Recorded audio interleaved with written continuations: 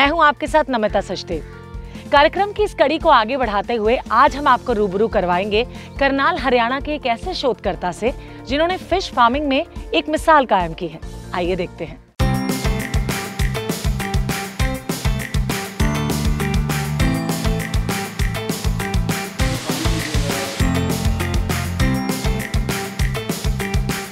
जैसे कि आप सब जानते ही हैं कि करनाल एक ऐसा क्षेत्र है जो प्रचलित खेती पर निर्भर रहा है। लेकिन पिछले कुछ वक्त में करनाल ने मछली पालन के क्षेत्र में भी अपनी अलग पहचान बनाई है। इसका काफ़ी हद तक श्रेय जाता है पद्मश्री से सम्मानित सुल्तान सिंह को।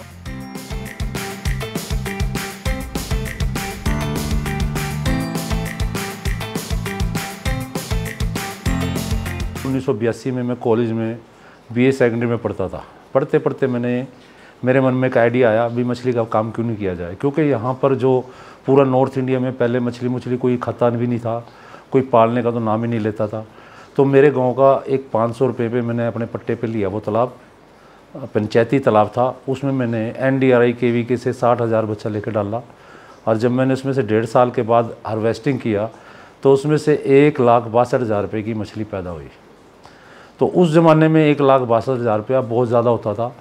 तो मैं भी खुद हैरान हुआ भी इतना पैसा इस मछली के अंदर है तो इसको आगे क्यों नहीं बढ़ाया जाए? इस तरह पंचायत के तालाब से साल दर साल उनकी आमदनी बढ़ती गई। सुल्तान सिंह के लिए फ़िश फ़ार्मिंग मुनाफे का सौदा साबित हो चुकी थी। अब उन्होंने मछली पालन के कारोबार को आगे बढ़ाने के बारे में सोचा। गाँव के अन्य तालाबों को लीज पर लिया और अपनी पंजर पड़ी ज़मीन पर भी मछली पालन के बारे में सोचा। पाँच एकड़ जो लैंड है मेरी ये शुरू में मेरा जो था तो ये कलर भूमि था। इस पर हम कभी भी ज़मीन पे कुछ भी पैदा नहीं करते थे। इस पर सिर्फ़ डंगर चगाने का काम करते थे। और वो एक तरह से हमारे पाँच एकड़ जो लैंड है वो ख़राब पड़ी थी। तो उसको ऊपर मैंने यही सोचा, इसके ऊपर हम मछली का बीज पैदा करना शुरू करें। फ़िश फ़ार्मिंग को आगे बढ़ाने के लिए मछली के बीजों की ज़रूरत होती है, जिसे सुल्तान सिंह कोलकाता एवं दूसरे अन्य शहरों से लाते थे। लेकिन एक लंबी दूरी को तय करके करनाल तक मछली लाने में अनेक समस्याओं का सामना करना पड़ता था। पहली समस्या ये थी कि आधे से अधिक बीज मर जाते थे, जिससे आर्थिक नुकसान तो होता ही था, साथ ही आवश्यकता अनुसार बीज उपलब्ध नहीं हो पाते थे। तो उन्होंने ये निश्चय किया कि क्यों न हम खुद मछली के बीजों का भी उत्पादन शुरू कर दें। इस तरह से उन्होंने मछली की ब्रीडिंग भी शुरू करवाई। गर्मी में इसकी स्टॉकिंग होती है तो गर्मी में ज़्यादा गर्मी होने की वजह से ट्रेन कहीं फिर लेट ज़्यादा हो जाती थी तो हमारा सीड हंड्रेड परसेंट मर जाता था। तो फिर हमारे को मैंने ये सोचा भी हम अपना बच्चा यहाँ क्यों नहीं पैदा कर सकते? तो फिर मैंने उन्नीस सौ छियासी में, चौरासी में अपना मछली का बीज यहीं पे पैदा करना शुरू किया।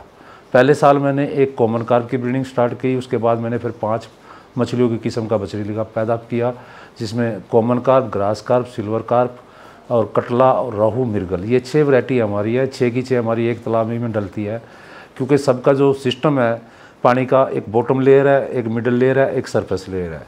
तो तीनों लेयर में दो दो मछली रहती है हमारी। तो इन छः मछली का बच्चा हमारा एक ही तालाब में डलता है। अब तक मछली पालन के कारोबार में सुल्तान सिंह को एक बेहतर अनुभव प्राप्त हो चुका था। बाज़ार की डिमांड को भी वो बेहतर तरीके से समझने लगे थे, जिससे बाज़ार की ज़रूरत के मुताबिक मछली की अलग अलग वैरायटी का उत्पादन भी उन्होंने आरंभ कर दिया। इस तरह कुछ ही वर्षों में उनके तालाबों में मछली की अनेक प्रजातियाँ देखने को मिलने लगीं। अब उनके तालाब में रोहू, कतला, कतलाबाज, झींगा, रऊ, mrigal grass carp silver carp corn carp देसी मंगूर जैसी तमाम तरह की मछलियाँ देखी जा सकती थीं। सुल्तान सिंह की मछली पालन का व्यवसाय अब रफ्तार पकड़ने लगा था वो अपनी ही ज़मीन पर मछली पालन के व्यवसाय को आगे बढ़ाने में कामयाब हो रहे थे। इतना ही नहीं, वो अलग अलग प्रजातियों की मछलियों को अब अपने ही तालाब में पनपने और आगे बढ़ाने में सफल हो रहे थे, जिससे उनके मछली पालन के व्यवसाय ने एक अलग ही तरह की तेज़ी पकड़ ली थी। सुल्तान सिंह के मछली कारोबार में इजाफा होने से इसकी मांग दूर दूर तक होने लगी। ऐसे में उन्हें अपने तालाब के क्षेत्रफल को बढ़ाना पड़ा। कहने का मतलब कि उन्होंने एक के बाद एक अनेक तालाब खुदवाए और अपने कारोबार को आगे बढ़ाया। साल दर साल जैसे जैसे मछली की मांग बढ़ती गई, सुल्तान सिंह का मछली का कारोबार भी बढ़ता गया और इसी अनुपात में तालाब का क्षेत्रफल भी बढ़ता गया। नए तालाबों की खुदाई हुई और इसमें फ्रेश बीज डाले गए। इस तरह मछली की पैदावार में बढ़ोतरी होती गई। इन सब के बावजूद सुल्तान सिंह को एक बात अक्सर खटकती थी कि हरियाणा के लोग मछली खाने के प्रति ज़्यादा आकर्षित नहीं होते हैं, जबकि इसमें अनेक प्रकार के विटामिन और प्रोटीन उपलब्ध हैं। इसे खाना अनेक प्रकार से लाभकारी है। इसी बात को ध्यान में रखकर सुल्तान सिंह ने लोगों में जागरूकता लाने का निश्चय किया। इस तरह धीरे धीरे लोगों को वो जागरूक करने लगे।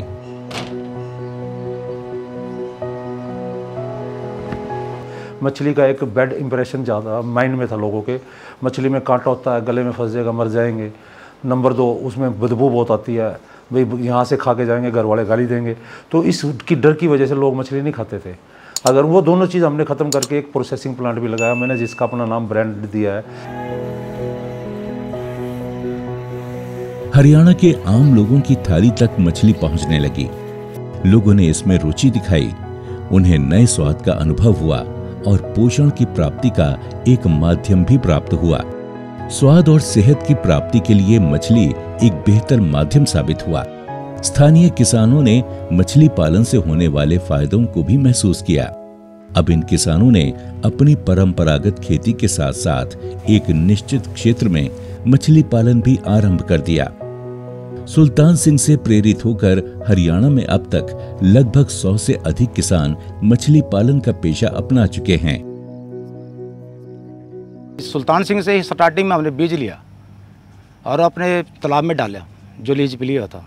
उसमें बहुत अच्छा कल्चर हुआ और उसके जैसे भी उसके साथ कमाई का साधन बढ़ा ना, और इच्छा हुई। और कई जगह फिर तालाब लिया हमने, पंचायत के। वहाँ भी बहुत ही अच्छा प्रॉफिट मिला हमने। ऐसे ऐसे धीरे धीरे फिर हमने, मेरे मन में एक बात आई कि मैं भी एक छोटा सा काम करके देखूँ कि बीज की सप्लाई कर सकूँ या ना कर सकूँ। तो मैंने एक ये लीज पे तालाब लिया गोगड़ीपुर गाँव में। ये लिया आठ साल के लिए स्टार्टिंग में। फिर यहाँ मैंने बीज बनाना शुरू किया कि जैसे कि सुपान ले के बाहर से। सुल्तान सिंह से भी लिया, जैसे कलकत्ता से भी मंगाया और अन्य दूसरी हैचरी उनसे भी लिया। तो उनका प्रोडक्शन बढ़िया अच्छा रहा सभी का। तो उसमें और ज़्यादा प्रॉफिट हुआ है मेरे को। मैंने भी इनको देख कर दूसरे गाँव में तालाब लिया है लीज पर। अक्सर मैं यहाँ से बच्चा ले जाता हूँ इनके पास से। कई अच्छी अच्छी वैरायटी बनाते हैं यहाँ। और मेरे को भी बहुत मुनाफा हो रहा है। माननीय प्रधानमंत्री जी ने मई के महीने के अंदर मई 2020 में प्रधानमंत्री मत्स्य संपदा योजना स्कीम लॉन्च की है। बीस हज़ार पचास करोड़ की स्कीम है। पूरे देश में लागू है। इसमें हरियाणा स्टेट भी शामिल है। इस स्कीम में जो पहले इससे स्कीम जो काम कर रही थी, उस स्कीम का नाम था ब्लू रेवोल्यूशन नीली क्रांति स्कीम। वो रिप्लेस कर दी गई, उसका स्थान इस स्कीम में ले लिया है। और वो नीली क्रांति जो प्रधानमंत्री का सपना था, वो प्रधानमंत्री मत्स्य संपदा योजना स्कीम के माध्यम से ही देश के अंदर नीली क्रांति आएगी। और इस स्कीम के अंदर जो हरियाणा के लिए डिफरेंट डिफरेंट कंपोनेंट हैं, इसमें किसानों की निजी ज़मीन में तालाब खुदाई है ग्राउड पॉन्ड्स रीडिंग यूनिट्स भी हैं जो फिंगरलिंग या ये सीड तैयार करने की हैं, और इसमें कुछ न्यू टेक्नोलॉजी इन्फ्यूज़न का भी है, जिसके अंदर आर लगाना रिसर्कुलेटरी एक्वाकल्चर सिस्टम है बायोफ्लॉक है ऑर्नामेंटल रीडिंग यूनिट्स हैं, और कुछ इंफ्रास्ट्रक्चर से संबंधित भी बेनिफिशरीज को हैं। गुणवत्ता युक्त बीजों और मछली की अलग अलग वैरायटी उपलब्ध होने से सुल्तान सिंह ने मछली प्रसंस्करण उद्योग लगाने के बारे में सोचा। इसके लिए बैंक से उन्होंने ऋण लिया और मछली प्रसंस्करण उद्योग को चालू किया। इस उद्योग से अब वो 35 तरह के प्रोडक्ट्स तैयार करते हैं और इन सभी प्रोडक्ट्स की बाज़ार में काफ़ी मांग है। इस उद्योग में fish finger fish cutlet fish burger, fish tikka, butter fish masala आदि नाम से फ़िश प्रोडक्ट्स तैयार किया जाता है। तो अगर आज मैं बात करूँ तो पूरे हरियाणा में आज एक भी ऐसा गाँव का तालाब खाली नहीं है, जिसमें मछली नहीं पल रही है। और उस मछली के पालने की वजह से अब 70 से 80 लोग मेरे गाँव के अंदर खुद मछली पकड़, पालने वाले हो रहे हैं। जबकि मेरे गाँव में एक भी आदमी मछली पालने वाला नहीं था। अगर मैं बात करूँ जिम्मेदारों की और मछली पालकों की तो मछली पालकों के घर जिम्मेदारों से अच्छे हैं। क्योंकि जितना पैसा वो मछली के अंदर कमा रहे हैं, इतना पैसा उनको जिम्मेदार इसमें खेती में नहीं है। सुल्तान सिंह के फ़िश प्रोडक्ट की डिमांड दिनों दिन बढ़ती गई। अब हरियाणा के साथ साथ देश के अलग अलग हिस्सों में उनके प्रोडक्ट की सप्लाई की जाने लगी। उनके प्रोडक्ट की लोकप्रियता कनाडा तक पहुँची। आजकल उनके बेटे बिपिन कनाडा में फ़िश बाइट का आउटलेट चला रहे हैं। बेसिकली मैंने मैकेनिकल इंजीनियरिंग की है और इंजीनियरिंग करने के बाद मैंने नए तौर तरीके के साथ मछली पालन को अपनाया है और इसी के साथ साथ मैंने कम से कम 27 कंट्री के अंदर मछली की ट्रेनिंग लेने के बाद अपने प्लांट के ऊपर मछली का काम शुरू किया है और टेक्निकल तरीके से मैं उसको अब कर रहा हूँ। ये जो आप टैंक देख रहे हैं, इस टैंक को हम फ़िश ब्रीडिंग हैचरी बोलते हैं और ये हमारा ब्रीडिंग टैंक है। इसके अंदर हमने एक आर्टिफिशियल एनवायरनमेंट बनाया हुआ है ब्रीडिंग के लिए, क्योंकि मछली का जो प्रजनन का तरीका है, वो ये है कि मछली बरसात के अंदर ब्रीड करती है और चलता हुआ पानी होना चाहिए। तो हमने मछली के लिए एक ऐसा मौसम बनाया, अभी मछली को लगे वो समुद्र नदी के अंदर या किसी समुद्र के अंदर घूम रही है और ऊपर से कृत्रिम वर्षा हो रही है। मतलब स्प्रिंकलर इरिगेशन टाइप का जो सिस्टम होता है, जिसको हम रेनफॉल बोलते हैं, वो हमने आर्टिफिशियली बना रखी है। कुछ ही महीनों में फ़िश बाइट प्रोडक्ट और ताज़ी मछलियाँ सऊदी अरब भी पहुँचने लगेंगी। आवश्यक दस्तावेज़ संबंधी कार्यवाही पूरी हो चुकी है। बस इंतज़ार है उस दिन का, जब फ़िश बाइट सऊदी अरब के साथ साथ अन्य देशों में भी अपनी धूम मचाएगा। सुल्तान सिंह मछली पालन के व्यवसाय के क्षेत्र में एक जाना माना नाम बन चुके हैं। अब अपने राज्य के अलावा देश के अलग अलग हिस्सों में भी उनके तालाब से मछलियाँ जाती हैं। इतना ही नहीं उनकी मछलियों के बीज भी वहाँ सप्लाई किए जाते हैं। सुल्तान सिंह के द्वारा शुरू की गई रेस्टोरों की चेन अलग अलग जगह खुल चुकी है। अब वो इसे रेलवे स्टेशनों और मेट्रो स्टेशनों तक पहुंचाना चाहते हैं। इस दिशा में उनका सफ़र कितना आगे बढ़ा, आइए उन्हीं से जानते हैं। सुल्तान सिंह द्वारा चलाया जा रहा फ़िश फ़ार्मिंग मॉडर्न तकनीक से बेहद किफायती तरीके से की जाती है, जिसमें लागत कम आती है, संसाधनों का इस्तेमाल कम होता है। और उत्पादन अधिक होता है। इस तरह प्रकृति का कम से कम दोहन होता है। पर्यावरण की सुरक्षा बनी रहती है और आम लोगों को पोषण से युक्त और स्वादिष्ट ऑर्गेनिक उत्पाद प्राप्त होता है। सुल्तान सिंह की फ़िश फ़ार्मिंग विधि किस तरह से पर्यावरण के अनुकूल है और कम पानी में भी अधिक मछली की पैदावार की संभावना होती है, इसे समझने के लिए उनके जल संग्रहण और विस्थापन विधि को जानते हैं। दरअसल ये जो सिस्टम है, कम जगह में, कम पानी में, प्रोडक्शन ज़्यादा देने वाला सिस्टम है। अब इसमें हम जितनी मछली डालते हैं, जितना ये बायोफिकल इसका, फ़ीड का होता है, जो ये खाना खाएगी, उसका जितना एक्स्ट्रा होगा, वो निकाल इसमें ऑटोमेटिक बाहर निकलता है। जो इसमें बच जाता है, वो उधर मशीनें लगी हुई हैं, वो इसको साफ़ कर देती हैं। तो इस तरीके से जो 10 एकड़ की लैंड हम बाहर मछली पैदा करते हैं। ये इतने आधे एकड़ में से हम 10 एकड़ के बराबर की मछली पैदा करते हैं। तो सबसे बड़ी बात ये है क्या, इसके अंदर हम जो बाहर मछली हमारी सर्दियों के टाइम में हम ग्रो नहीं कर सकते तो उन मछली को उठा के तालाब से यहाँ गर्मी, सर्दियों में अंदर डाल लेते हैं, ताकि वो सर्दी से बचाव होके और उसके यहाँ पर हमारी पूरी फ़सल हो सके। क्योंकि जब भी हम सीड महँगी मछली का डालते हैं, क्योंकि जून, जुलाई में इसका सीड मिलता है। जब हम सीड जून, जुलाई में डालते हैं, नवंबर, दिसंबर में ठंड शुरू हो जाती है तो उसको ग्रोइंग करने का टाइम नहीं मिलता। जब वो टाइम नहीं मिलता तो हमारी अंडर साइज़ फ़िश रह जाती है। अंडर साइज़ होने की वजह से उसको हम मार्केट में बेच नहीं सकते। तो उसको हम पूरा जब साइज़ करेंगे, तभी मार्केट में उसके हमारा दो पैसे अच्छे मिलेंगे। तो हम उसको बाहर से उठा के यहाँ पे इसीलिए डालते हैं, ताकि जो तीन महीने का गैप होता है, वो तीन महीने यहाँ पूरा हो जाए या दो महीने और। आठ महीने की क्रॉप इसमें निकलती है 800 से 900 ग्राम की एवरेज का। तो हम इसको किसी भी तरीके से यूज़ कर सकते हैं। नीला खेड़ी के छोटे से गाँव बुटाना में उन्नीस में जन्मे सुल्तान सिंह ने अपने निरंतर प्रयास से उत्तर भारत में पहली मछली बीज हैचरी का निर्माण किया। इस हैचरी से तैयार बीजों को अन्य राज्यों में भेजना शुरू किया और अपने गाँव को एक राष्ट्रीय पहचान दिलाई। राजस्थान और महाराष्ट्र में बड़े बड़े डैम पट्टे पर लेकर मछली पालन के क्षेत्र में एक नई बुलंदी को हासिल किया। अपने फार्म में आधुनिक प्लांट के माध्यम से कांटा रहित मछली उत्पाद तैयार किया जाता है। इसके अलावा क्वालिटी टेस्टिंग लैब की मदद से उपभोक्ताओं को गुणवत्ता युक्त उत्पाद भी दिया जाता है। फ़िश फ़ार्मिंग के क्षेत्र में 35 वर्षों की लगातार मेहनत और अनुसंधानों के आधार पर सुल्तान सिंह ने अपनी एक नई पहचान बनाई है। फ़िश फ़ार्मिंग में अपने आप को रोल मॉडल के रूप में स्थापित कर चुके सुल्तान सिंह अब तक बीस हज़ार लोगों को निशुल्क प्रशिक्षण दे चुके हैं। उनकी उच्च तकनीक विधि को जानने और फ़िश फ़ार्मिंग के हुनर को सीखने के लिए वैज्ञानिकों के साथ साथ देश के कोने कोने से छात्र भी आते रहते हैं। छत्तीस साल मुझे हो गए इस काम में। मैं ज़्यादा नहीं कह सकता, पच्चीस तीस हज़ार लोग तो मैंने भी इसमें ट्रेंड कर दिया ट्रेनिंग दे दे के। हर रोज़ मेरे पास बीस से पच्चीस लोग पूरे हरियाणा से इंडिया से पूरे लोग आते हैं और उन सबको मैं एक तरह से गाइडलाइन दे के और उनको मछली के काम की दिशा निर्देश दे के उनका काम शुरू करवाता हूँ। तो अभी पीछे हमारे पूरे हरियाणा में एक ट्रेनिंग का प्रोग्राम चला था और स्टेट गवर्नमेंट ने वो ट्रेनिंग मुझे ही दी थी। उसमें 900 लोगों को मैंने ट्रेन किया तीन महीने के अंदर। उनका रहना खाना तीन तीन दिन की ट्रेनिंग थी वो।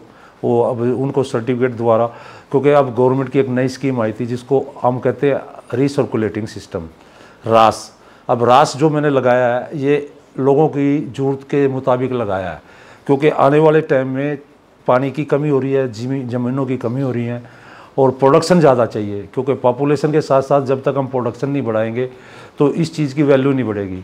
तो इन चीज़ों को देखते हुए हमने एक छोटी सी टेक्नोलॉजी इंडोर सिस्टम में लगाई, जिसका नाम रिसर्कुलेटिंग एक्वा सिस्टम है। तो उसमें हम पानी कम यूज़ करते हैं, जगह कम यूज़ करते हैं प्रोडक्शन हम तीस गुना ज़्यादा करते हैं। बाईस ज़िला हमारे हरियाणा में है। हर ज़िले के अंदर जिला स्तर के ऊपर किसानों को प्रशिक्षण दिया जा रहा है, मोटिवेट किया जा रहा है डाइवर्सिफिकेशन और इस व्यवसाय की तरफ़ जुड़ने के लिए। प्लस, विज्ञापन से, प्रचार माध्यम से, इलेक्ट्रॉनिक प्रिंट मीडिया के माध्यम से और आप जैसे लोगों के माध्यम से भी इस, इसको, स्कीम का व्यापक प्रचार और प्रसार किया जाए ताकि मैक्सिमम लोग इस व्यवसाय से जुड़े। उसको जुड़ने के लिए हम लाभार्थी को बेनिफिशरी को प्रशिक्षण देते हैं। उसकी ज़मीन का चुनाव में हम मदद करते हैं सिलेक्शन और पॉन्ड में, और जो भी फाइनेंशियल हेल्प चाहिए, उसका हम प्रोजेक्ट तैयार करवाते हैं। फाइनेंशियल हेल्प चाहे तो उसको बैंक में हम अपना केस भेज देते हैं। और जो सेंक्शन लोन होगा, उसके ऊपर हम ये प्रोजेक्ट अप्रूव करवाया है। उसके अंदर सब्सिडी का भी हमने कंपोनेंट रखा है। सब्सिडी देते हैं। और अगर कोई किसान ये चाहे कि भी, मैंने लोन नहीं लेना, मैं अपनी अपने फाइनेंस से खुद के अपनी जेब से खर्च करके अगर मैं लगाऊँगा तो उसको हम जो है ना सब्सिडी उससे जो खर्चा एक्चुअल हुआ है उसके ऊपर हम सब्सिडी देते हैं।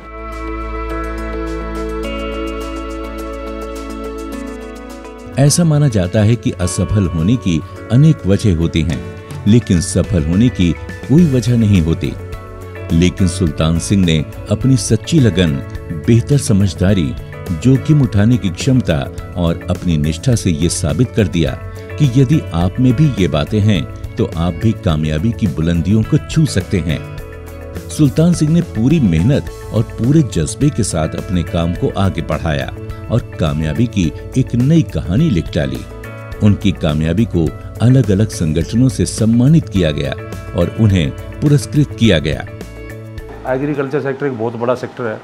उसमें डेयरी फ़ार्मिंग भी है फल्स एक्टिविटीज़ भी है फूल की खेती भी होती है डेयरी फ़ार्मिंग भी है पोल्ट्री भी है, लेकिन फिशरीज एक ऐसा सेक्टर था जिसको नहीं लाइक करते थे, ठीक है? इसको हमने इतनी दूर तक पहुँचाया है, इस सेक्टर को। मैं ज़्यादा नहीं कहता, आज हरियाणा का पूरे इंडिया में, हर गाँव में, हर आदमी मछली पालने को काम करने का दिल करता है। अब छोटे छोटे सिस्टम लगा करके हर आदमी को हर तरीके के हम इसका मछली की टेक्नोलॉजी दे के हम घर घर में मछली का काम करवाना चाहते हैं। यही मेरा एक उद्देश्य है और यही मैं देश के लिए काम करता रहूँगा और आगे बढ़ता रहूँगा। अब तक सुल्तान सिंह को अनेक पुरस्कार और सम्मान प्राप्त हुए हैं, जिनमें से कुछ इस प्रकार हैं। जगजीवन राम पुरस्कार quality summit award best incumbency award प्रगतिशील किसान award best fish farmer award best innovative किसान अवार्ड के अलावा अनेक सम्मान प्राप्त हुए हैं। हमारा सौभाग्य इस ज़िले में कि सुल्तान जी इसी ज़िला के पैदाइश हैं। बुटाना गाँव तहसील नीलोखेड़ी के रहने वाले हैं। वो बाई चॉइस इस प्रोफेशन में आए और बहुत पहले, शायद उन्नीस सौ तिरासी में उन्होंने गाँव के तालाबों से अपना व्यवसाय किया था। उसके बाद वो हैचरी के फ्रेश वाटर की जो फिशरीज़ की हैचरी कारप की हैचरी के सेक्टर में आए। प्राइवेट सेक्टर में पहली हैचरी है। हैचरी के बाद उन्होंने प्रोसेसिंग का काम किया। प्रोसेसिंग के बाद उन्होंने आरएस का काम किया और नई नई जो जो नए नए आयाम उनके ऊपर वो आ, काम करते रहते हैं और उनसे प्रेरणा का हमें ये है कि किसान इस ज़िला का या पड़ोसी ज़िला का अगर हो तो हमारे पास सुल्तान है उससे देख के उसकी एक्सपोजर जाके अगर वो देखते हैं कि भाई एक किसान इतना काम कर रहा है और पद्मश्री मिल गया तो उन, वो दूसरे किसानों को इस व्यवसाय से जुड़ने के लिए सुल्तान जी के माध्यम से एक प्रेरणा मिलती है कि सुल्तान जी अच्छा पैसा कमा रहे हैं अच्छा नाम कमा रहे हैं। तो हमारी एक एक्सपोजर जो है ना, इस एरिया का या सराउंडिंग का, पूरा हरियाणा का इवन देश का कहें तो एक एक्सपोजर मिलता है सुल्तान जी को देख के। हाल ही में भारत सरकार के चौथे सबसे बड़े नागरिक सम्मान पद्मश्री से इन्हें सम्मानित किया गया है। ये सम्मान इनकी उपलब्धियों की एक ऐसी स्वीकृति है, जिससे हमारे किसान हमेशा प्रेरणा पाते रहेंगे। और करनाल के नीला खेड़ी तहसील का बुटाना गाँव अपने पर गौरव महसूस करेगा। पद्मश्री मिला है। मेरे को पता भी नहीं था भाई ये किस तरीके से अप्लाई होता है, किस तरीके से दिया जाता है। ये खुद ही गवर्नमेंट ने मुझे एक लेटर के द्वारा बताया भी आपके लिए हम एक आपको पद्मश्री दे रहे हैं। तो मैं बहुत ज़्यादा खुश हुआ, क्योंकि देहात के एरिए में ये चीज़ें नहीं आती। ये फ़र्स्ट टाइम इस सरकार ने पहली दफ़ा ये गाँव तक पद्मश्री पहुँचाने का काम किया है। हम इस सरकार के बहुत आभारी हैं, साथ में पूरे देश के आभारी हैं। भैया, हमारे को इस देश में से पद्मश्री के लिए चुना गया। बचपन के दिनों से ही सुल्तान सिंह का मछली पालन के प्रति झुकाव और उनकी निरंतर लगन ने उन्हें जिस मुकाम तक पहुँचाया है, वो उससे कहीं ज़्यादा के हकदार हैं। उनका यही उत्साह उन्हें उनके मनचाहे मुकाम तक ले जाएगा, ऐसा हमें विश्वास है। अगले एपिसोड में आपको परिचित करवाएँगे एक नए शोधकर्ता के शोध से। तब तक हमें दीजिए अनुमति। नमस्कार।